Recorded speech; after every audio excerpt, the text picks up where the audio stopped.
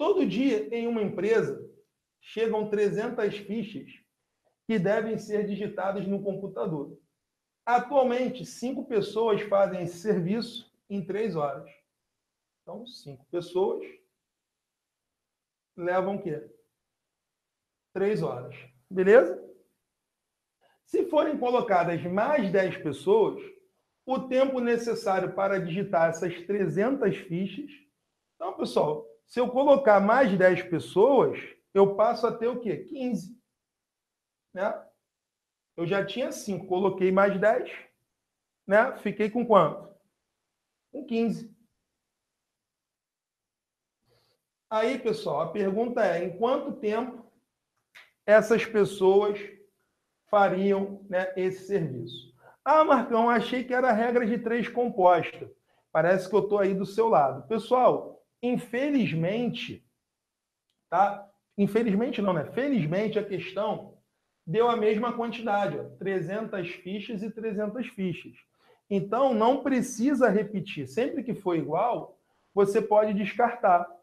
Tá legal? Iria influenciar na questão se fosse quantidades o quê? Diferentes, tá legal? Então é uma regrinha de três simples, tá legal? Pessoa com tempo, pessoal, já pode anotar isso aí no seu caderno.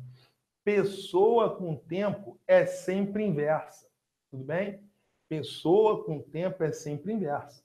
Se eu tenho mais pessoas, com certeza eu levo o quê? Menos tempo. Ah, tio Marcos, eu estou acostumado com o negócio de seta. Pelo amor de Deus, joga isso fora. Tá legal? Não se usa mais isso, pelo amor de Deus. Tá? Se uma aumentou e a outra diminuiu, elas são inversas. Aí, pessoal, sempre que for inversa, você não cruza, você multiplica em linha.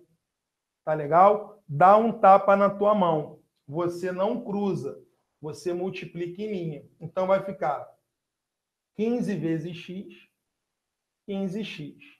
5 vezes 3, 15. 15 dividido por 15 vai dar 1. Vai dar o quê? Uma hora. Beleza? Qual é o gabarito? Vamos lá marcar o V da vitória? Letra A de aprovado, de aprovação. Maravilha?